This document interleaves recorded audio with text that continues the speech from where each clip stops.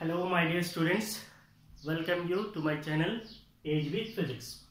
So in last class we have studied about Gauss law, what actually Gauss law is and how we can use Gauss law. So we know Gauss law can be used to calculate electric flux.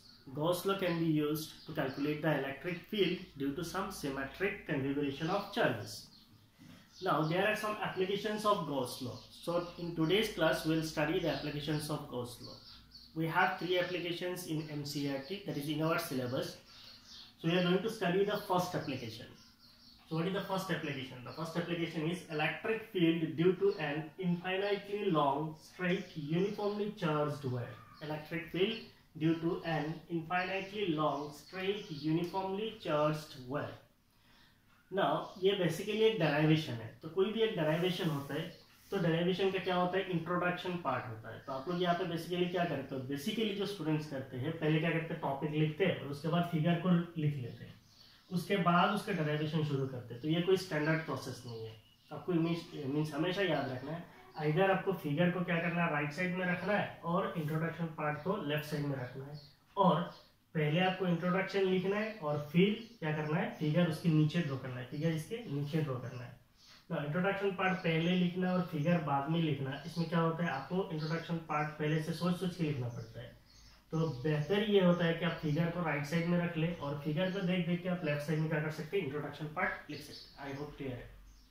कोई भी एक derivation होता है उसमें सबसे पहला चीज़ होता है इंट्रोडक्शन दूसरा होता है फिगर इंपॉर्टेंट चीज़ इंट्रोडक्शन फिगर फिर आपका body of derivation and finally conclusion ये चार पार्ट रहना है। तो ये हो गया इंट्रोडक्शन ये हो गया फिगर फिर हम लोग बॉडी ऑफ़ डेरिवेशन करेंगे लास्ट में कंक्लूजन करेंगे जो हमें करना है मीन्स हमें जो निकालना है, वो निकलेगा। तो इसको डराइव करने के लिए हमें इस फिगर की ज़रूरत है तो मैं आपको ये पूरा फिगर जो है आपको बताऊँगा, इसके अंदर क्या क्या है तो पहले से ही मैंने रखा है, ताकि समय कम लगे। तो ये फिगर है आपका, और ये आपका इंट्रोडक्शन पार्ट है। ना इसके अंदर सबसे पहले एक काम कीजिए, आप इसको पोज कर लीजिए। पोज करके इस चीज़ को पहले नोट डाउन कर लीजिए। ठीक है? उसके बाद मैं एक्सप्लेन करूँगा एक्सप्लेनेशन को समझिए और फिर हम लोग बॉडी डेराइवेशन को पूरा करेंगे। ना इंट्रोडक्शन में हम लोगों ने क्या लिखा है? Consider an infinitely long theme infinitely long infinitely long का मतलब क्या है? ये जो हमारा वायर है, जो हमारा वायर है, ये प्लस इंफिनिटी से लेके माइनस इंफिनिटी तक है, या फिर माइनस इंफिनिटी से लेके प्लस इंफिनिटी तक है। ये इनफाइनाइट लॉन्ग वायर है। थिन है, इसका मतलब ये वायर मोटा नहीं है, ऐसा नहीं है इट्स थिन पतला सा है थिन है स्ट्रेट है, आपका जो वायर है इट मस्ट बी स्ट्रेट एकदम बिल्कुल स्ट्रेट होना चाहिए। वायर है with uniform linear charge density uniform linear charge density का मतलब क्या है? आपका जो चार्जेस है, वो यूनिफॉर्मली डिवाइडेड है। ऐसा नहीं है कि एक जगह पे चार्ज ज़्यादा है, ऐसा नहीं है। चार्ज यूनिफॉर्मली डिवाइड होना चाहिए, जैसे मैंने यहाँ पे आपको दिखाया चार्जेस जो है पॉजिटिवली चार्ज है और ये यूनिफॉर्मली डिस्ट्रीब्यूटेड है। Uniform linear charge density lambda तो लास्ट क्लास में, एक क्लास में हम लोगों ने पढ़ा भी है कंटिन्यूअस चार्ज डिस्ट्रीब्यूशन में what is lambda lambda is charge per unit charge per unit length that is lambda is Q by L so uniform linear charge density है. उसके बाद आपको क्या करना है? आपको यहाँ से क्या करना है? वो लिखना है. हमने क्या लिखा है?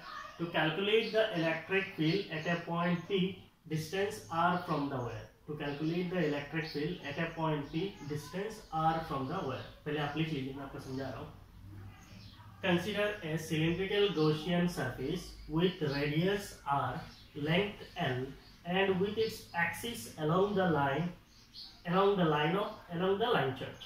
इसका मतलब आपका जो वायर है मान लो आपका ये वायर है ये यूनिफॉर्मली चार्ज है इसके लिए आपने जो गोशियन सरफेस कंसीडर किया है, ये आपका गोशियन सरफेस है, मान लीजिए। तो ये गोशियन सरफेस का सिलिंड्रिकल गोशियन सरफेस का जो एक्सिस होगा, वो एक्सिस किधर से जाना चाहिए? वायर के अंदर से जाना चाहिए। उसको पोज कीजिए, पहले इस पार्ट को लिख लीजिए।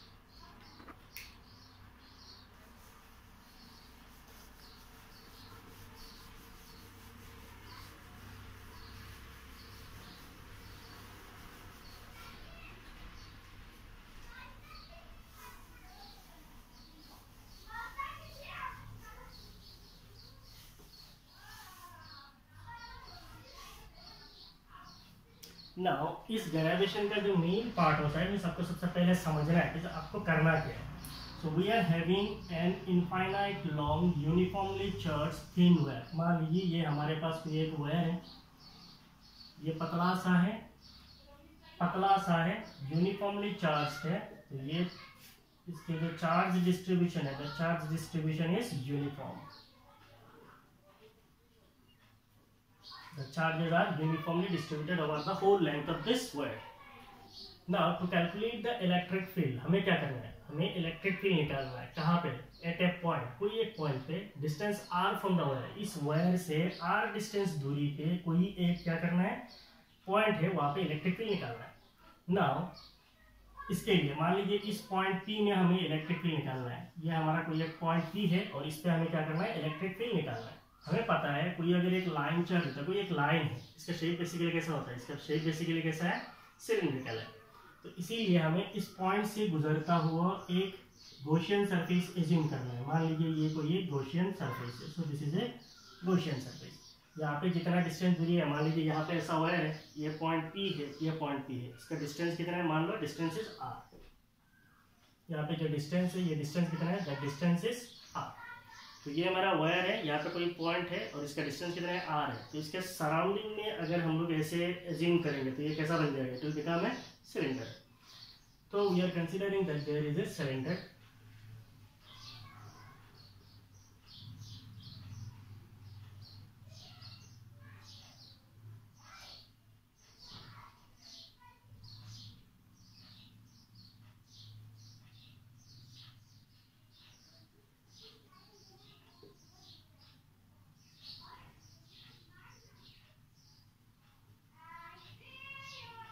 तो ये जो है, ये एक्चुअली हमारा क्या है? ये हमारा गोशियन सरफेस है। So this is our Gaussian surface और इसका शेप कैसा है? इसका शेप है सिलिंड्रिकल तो इसीलिए हम लोगों ने इसको लिखा है सिलिंड्रिकल गोशियन सरफेस तो ये हमारा वायर है।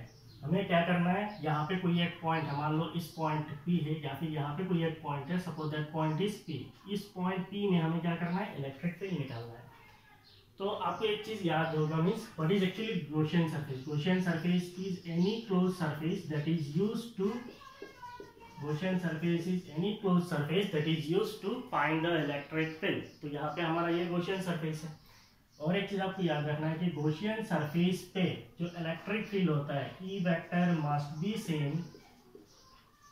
E vector must be same at every point. Gaussian surface में आपका जो भी इलेक्ट्रिक फ़ील्ड होगा, किसी भी पॉइंट पे, हर एक पॉइंट पे इलेक्ट्रिक फ़ील्ड कैसा होना चाहिए? सेम होना चाहिए।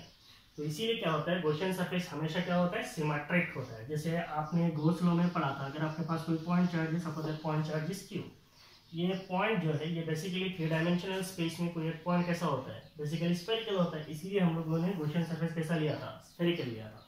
तो कोई भी इसीलिए क्या होता है? यहाँ पे अगर कोई पॉइंट है, यहाँ पे कोई पॉइंट है, यहाँ पे कोई पॉइंट है, किसी भी पॉइंट पे अगर आप इलेक्ट्रिक फ़ील्ड निकालेंगे, इसका मैग्नीट्यूड क्या होगा? सेम होगा। क्यों सेम होगा? क्योंकि हर एक पॉइंट का डिस्टेंस कितना है? हर एक पॉइंट का डिस्टेंस आर सिमिलरली अगर इसको थोड़ा इमेजिन करने के लिए आप ऐसे इमेजिन कीजिए, ये कोई सिलेंडर है। आपका वायर किधर से गया? वायर जो है अंदर से गया लेकिन ये ये आपका वायर गया ना इस वायर से इसका रेडियस कितना होगा? रेडियस आर है, यहाँ पे रेडियस कितना आर है, यहाँ पे रेडियस कितना आर है? मीन्स हर एक पॉइंट पे रेडियस कितना होगा? आर होगा। इसका मतलब इसका ऊपर में किसी भी पॉइंट पे अगर हम लोग देखेंगे, हर एक पॉइंट पे जो इलेक्ट्रिक फ़ील्ड होगा, वो इलेक्ट्रिक फ़ील्ड क्या होगा? सेम होगा। इसीलिए ये एक सिमेट्रिक क्लोज सरफेस है और इसको हम लोग क्वेश्चन सरफेस एज्यूम किया क्लियर है? तो बीच में आपका क्या है? ये आपका चार्ज वायर है so this is your charge wire है और ये जो चार्ज वायर है इज़ यूनिफॉर्मली चार्ज वायर है। इसका मतलब इसके ऊपर जो चार्ज डिस्ट्रीब्यूशन है, वो चार्ज डिस्ट्रीब्यूशन बिल्कुल यूनिफॉर्म है। नाउ इसके इलेक्ट्रिक फ़ील्ड निकालने के लिए, मान लीजिए इसके अंदर से हमारा वायर गुजरा है तो ये जो हमारा गोशियन सरफेस है that is cylindrical Gaussian surface है, इसका टोटल कितना सरफेसेज है? How many surfaces are there so there are basically three surfaces एक सरफेस तो आपका ऊपर है, ये एक ऊपर का सरफेस है। तो इसको हम लोग बोल सकते हैं एंड फेस वन दूसरा एक सरफेस ये है, इसको हम लोग बोल सकते हैं एंड फेस टू ये एंड फेस वन ये एंड फेस टू इसका और एक सरफेस है. कौन सा सरफेस है? ये है. इसको हम लोग क्या बोलते हैं? इसको हम लोग बोलते हैं कर्व्ड सिलिंड्रिकल सरफेस ये हो गया कर्व्ड सिलिंड्रिकल सरफेस ये हो गया एंड फेस वन ये हो गया एंड फेस टू तो इसको कुछ नाम दे देते हैं. मान लीजिए हमारा एंड फेस वन है. ये हमारा एंड फेस टू है. और ये जो हमारा कर्व्ड सिलिंड्रिकल सरफेस इसको हम लोग एंड फेस थ्री बोल के भी नाम दे सकते हैं. Now we are considering that यहाँ पे एक छोटा सा एरिया ले लेते हैं। ये एक छोटा सा एरिया है। तो ये मेरा सरफेस थ्री है। इस सरफेस थ्री का अगर टोटल एरिया मीन्स इसका अगर टोटल इसका अगर टोटल एरिया एस थ्री होगा। टोटल एरिया कितना है? Total area is S three ये छोटा सा एरिया लेने से, इस छोटा सा एरिया का हम क्या बोल सकते हैं? छोटा सा एरिया का हम लोग डी एस थ्री बोल सकते हैं। छोटा सा एरिया है। मीन्स ये कर्व सिलेंड्रिकल सरफेस का ये छोटा सा एरिया हम लोग ने कंसिडर किया ये छोटा सा एरिया है। इस छोटा सा एरिया का नाम हम लोग क्या दे सकते हैं? डी एस थ्री तो ये डी एस थ्री है। तो यहाँ पे इलेक्ट्रिक फ़ील्ड कैसा होगा? तो चार्ज फेयर चार्ज हमारा लाइन किधर है? अंदर है। तो इसका इलेक्ट्रिक फ़ील्ड कैसा होगा? Electric field must be radial at every point तो ये किधर जाएगा? बाहर की तरफ़ जाएगा। Electric field is radial at every point इसका मतलब इस डायरेक्शन में आपका इलेक्ट्रिक फ़ील्ड जाएगा। So this is your direction of electric field and electric field is radially outward ना मान लीजिए ये हमारा पॉइंट है। That is D S three है। यहाँ पे अगर एरिया वेक्टर ड्रॉ करेंगे तो कैसा होगा? Area vector is always outward तो इलेक्ट्रिक एरिया वेक्टर कैसा होगा? It is for close surface area vector is always outward तो इसका मतलब यहाँ पे जो एरिया वेक्टर होगा what will area vector area vector is D S three vector यहाँ पे अगर आप नोटिस करेंगे, आपका डी एस थ्री वैक्टर और इलेक्ट्रिक फ़ील्ड वैक्टर ये दोनों सेम डायरेक्शन पे, इसका मतलब यहाँ पे थीटा कितना है? Theta is zero degree they are in the same direction now अगर मैं यहाँ पे बेसिकली सी मैंने यहाँ पे लिया आपको समझने के लिए एक्चुअली ये यहाँ पे है, क्योंकि लाइन चार्ट से सेम दूरी पे इलेक्ट्रिकल सेम होगा। यहाँ से यहाँ तक जितना दूरी है, यहाँ से यहाँ तक उतना ही दूरी है। तो यहाँ से अगर हम लोग इलेक्ट्रिक फ़ील्ड को ड्रॉ करेंगे तो कैसा होगा? So this will be electric field electric field कैसे जाएगा? बाहर की तरफ़ जाएगा, जैसे ये लाइन चार्ट है किधर जाएगा, बाहर की तरफ़। तो इलेक्ट्रिकल ऐसा है। इस पॉइंट से अगर हम लोग एरिया वेक्टर ड्रॉ करेंगे तो ये मेरा नीचे का सरफेस है। तो ये नीचे का सरफेस अगर छोटा सा एरिया में लेता हूँ तो ये छोटा सा एरिया होगा। तो ये मेरा सरफेस टू है इसको हम बोल सकते हैं डी एस टू ये छोटा एरिया को हम लोग क्या बोल सकते हैं? छोटा एरिया को डी एस टू बोल सकते हैं। यहाँ पे अगर एरिया वेक्टर ड्रॉ करेंगे तो कैसा होगा? Area vector is always perpendicular कैसा होगा? ऐसा होगा। तो इस पॉइंट से एरिया वेक्टर कैसे जाएगा? ऐसे जाएगा। इसको हम नाम क्या दे सकते हैं? डी एस टू वैक्टर ना आपका इलेक्ट्रिक फ़ील्ड वेक्टर और एरिया वेक्टर ये क्या है? परपेंडिकुलर है। तो यहाँ पे थीटा कितना होगा? थीटा इज़ 90 डिग्री क्लियर है? ये हो गया आपका सरफेस टू के लिए। अब अच्छा आपका ये सरफेस वन के लिए। तो ये सरफेस वन पे मैं ऐसे ही यहाँ पे छोटा सा पॉइंट कंसिडर कर रहा हूँ, ये छोटा सा पॉइंट यहाँ पे अगर मैं इलेक्ट्रिक फ़ील्ड को ड्रॉ करूँगा so what will electric field electric field ऐसा होगा। लाइन चार्ज से इलेक्ट्रिक फ़ील्ड कैसे होगा? Outward so this is your electric field ना इस पॉइंट पे आप देखिए, इस पॉइंट पे, इस पॉइंट पे, इस पॉइंट पे यहाँ पे जो इलेक्ट्रिक फ़ील्ड है, ये सेम है। क्योंकि ये लाइन चार्ज से सेम दूरी पे यहाँ पे दूरी कितना होगा? आर यहाँ पे दूरी कितना है? आर है। यहाँ पे दूरी कितना है? आर रेडियस पे रेडियस पे रेडियस पे इसीलिए रेडियस सेम है तो इलेक्ट्रिक फ़ील्ड का मैग्नीट्यूड क्या होगा? सेम होगा। ना यहाँ से अगर हम लोग एरिया वेक्टर ड्रॉ करेंगे तो मेरा ये टॉप सरफेस है। यहाँ पे छोटा सा एरिया लिया मैंने ये छोटा सा मेरा एरिया है। ये छोटा एरिया का नाम मैं दे सकता हूँ मान लो डी एस वन यहाँ पे अगर मैं एरिया वेक्टर ड्रॉ करूँगा तो कैसा होगा? So this will be your area vector इसका हम लोग बोल सकते हैं डी एस वन वेक्टर तो यहाँ पे अगर आप क्लोजली नोटिस करेंगे इलेक्ट्रिक फ़ील्ड कैसा ऐसा है? एरिया वेक्टर कैसा ऐसा है। इसका मतलब इसके बीच में एंगल कितना है? इसका बीच में एंगल जो थीटा है दैट इज़ 90 डिग्री है। क्लियर है? ना हमारे पास जो वायर है, इसका लेंथ कितना है? इसका लेंथ जो है इनफाइनाइट है। The length of this wire is infinite इससे हम लोगों ने क्या किया? एक लेंथ कंसिडर किया। मीन्स ये लेंथ जो है एल है। इसको हम बोलते हैं length of this Gaussian cylinder सो ये जो सिलेंडर है गोशियन सिलेंडर है, इसका लेंथ कितना है? एल है. We are considering this much length clear तो वो फिगर आप वहाँ से अगर नहीं समझे तो यहाँ से आप समझ सकते हैं. क्लियर है? इंट्रोडक्शन पार्ट हो गया.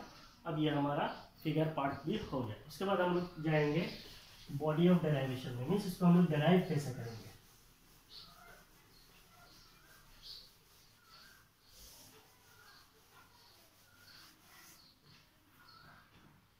नाउ हमें क्या करना है? ये जो गोशियन सिलेंडर है गोशियन सिलेंडर है, इसके लिए क्या करना है? टोटल फ्लक्स निकालना है। So what is the total flux due to Gaussian surface total flux due to Gaussian surface will be equal to flux through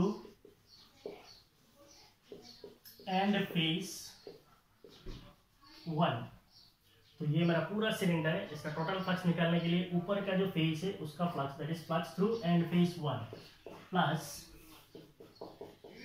flux through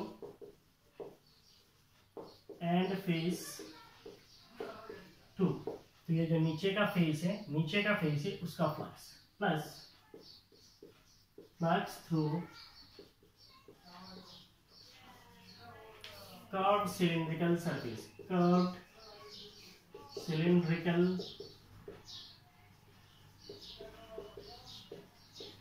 surface कहानी समझ में आया? हमें क्या करना है? ये गोशियन सरफेस है मेरा। ये गोशियन सरफेस का टोटल फ्लक्स निकलना है। टोटल फ्लक्स निकालने के लिए हमें क्या करना है? इस फेस ये मेरा फेस वन है, इसका फ्लक्स ये मेरा फेस टू है, इसका फ्लक्स और ये मेरा सरफेस थ्री है। तो इन तीनों सरफेसेस का अगर मैं फ्लक्स पे ऐड कर दूँगा तो मुझे क्या मिल जाएगा? टोटल फ्लक्स मिल जाएगा। So flux through end face one तो एंड फेस वन का flux plus flux through end face two end face two का flux plus flux through third cylindrical surface और इस सरफेस का फ्लक्स को अगर हम ऐड करेंगे तो हमें क्या मिल जाएगा? टोटल फ्लक्स मिल जाएगा। Suppose the total flux to the Gaussian surface is phi suffix E total flux flux का सिंबल क्या है? है हमें पता है। सपोज़ दिस इज़ फाई है और इसके नीचे ई e है, इसका मतलब ये टोटल इलेक्ट्रिक फ्लक्स है।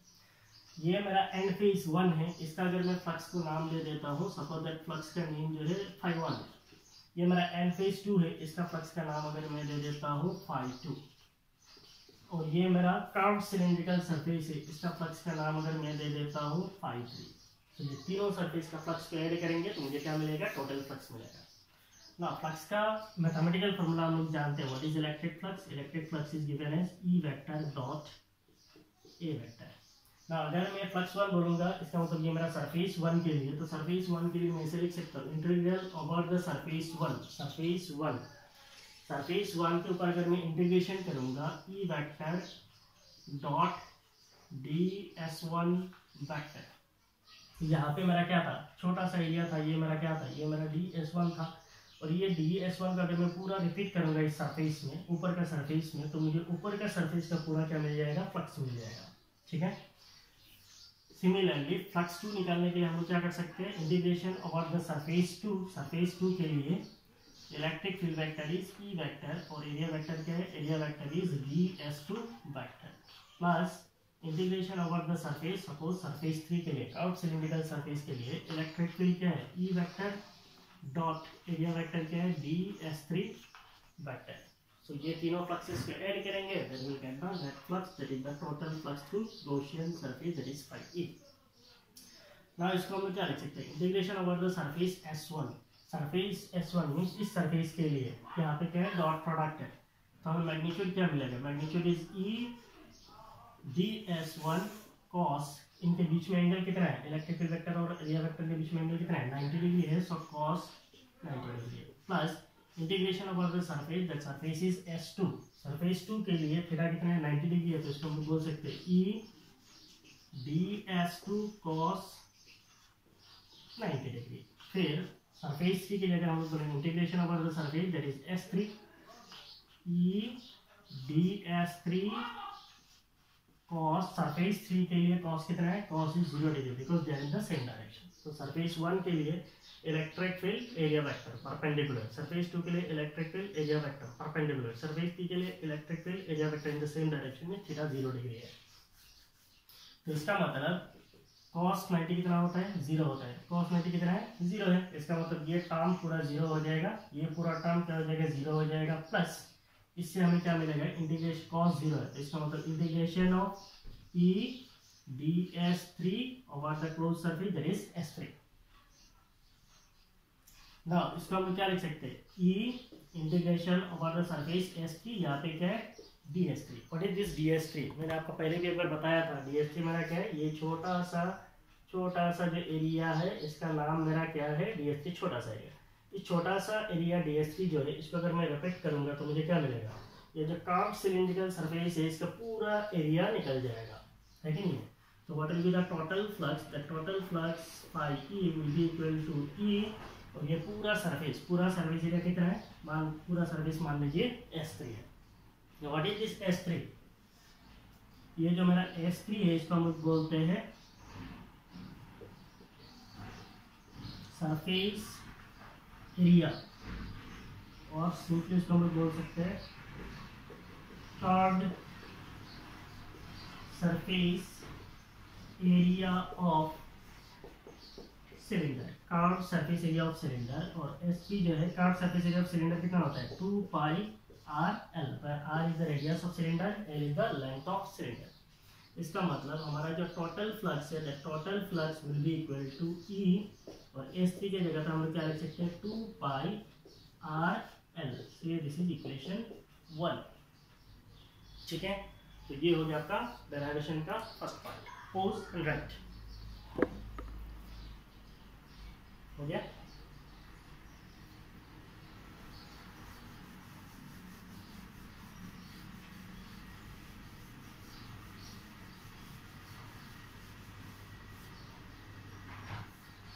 हम जाएँगे। Using Gauss law law flux through Gaussian surface is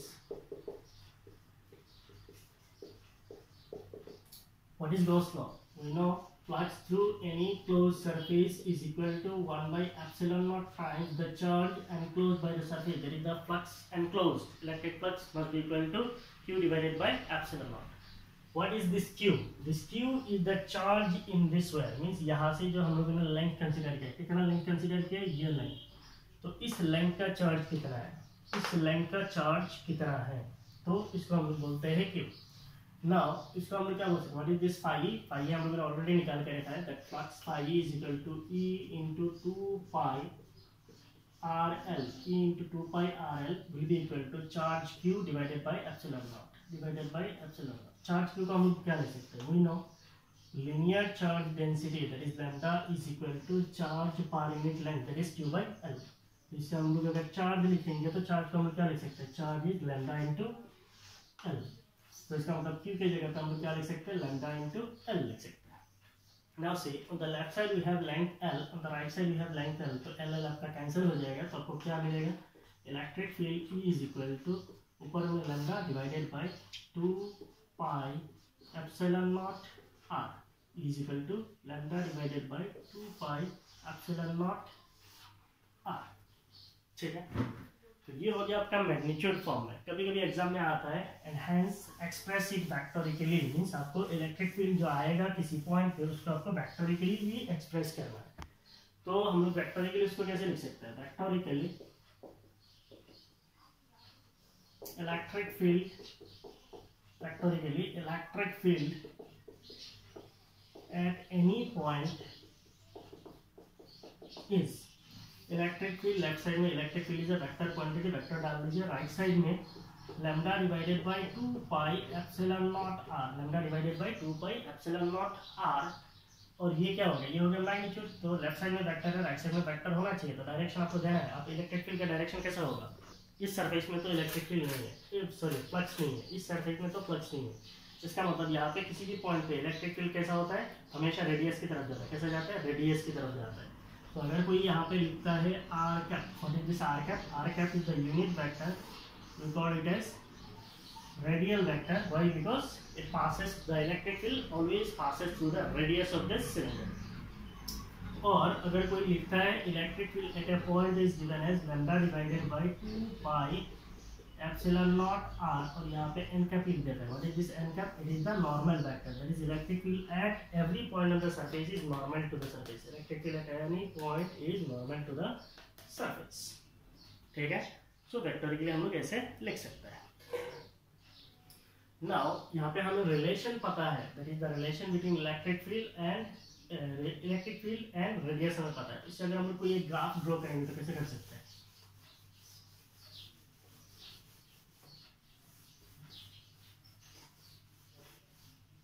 So if you represent the graph of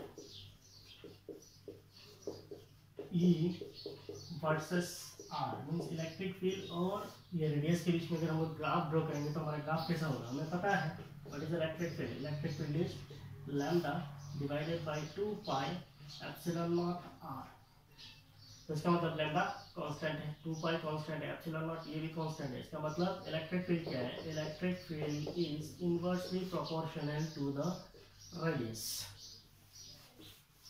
तो इसका मतलब पॉइंट पी जो है, उसका डिस्टेंस आर के साथ इन्वर्सली प्रोपोर्शनल है। सो इन्वर्सली प्रोपोर्शनल अगर होता है तो हम अगर कोई ग्राफ रिप्रेजेंट करेंगे तो ग्राफ कैसे रिप्रेजेंट करते हैं, ये ई इस साइड में मान लीजिए आपका आर है इनवर्सली प्रोपोर्शनल है तो ग्राफ कैसा होगा? ऐसा होगा। That is as r decreases magnitude of electric field, as r increases, the magnitude of electric field decreases so this is the relation between e and r. So this was all about the application first application of Gauss law. We have two more applications so we'll meet in coming classes. Thank you. Thank you. If you like my videos like it share it subscribe it. Thank you